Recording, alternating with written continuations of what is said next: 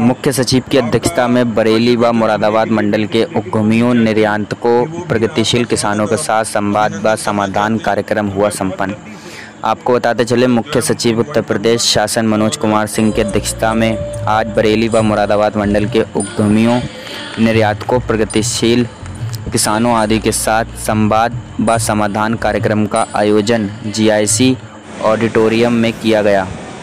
मुख्य सचिव, उत्तर प्रदेश शासन श्री मनोज कुमार सिंह, एयरपोर्ट से सीधा कार्यक्रम स्थल पहुंचकर मुख्य सचिव महोदय ने गार्ड ऑफ़ ऑनर लिया एवं वृक्षारोपण करके दोनों मंडलों के ओडीओपी उत्पादकों की प्रदर्शनी का निरीक्षण किया। निरीक्षण के दौरान पीलीभीत की बांसुरी, बरेली के जरी, बाँस, बेंत इत्यादि उत्पादों की प्रशंसा की गई।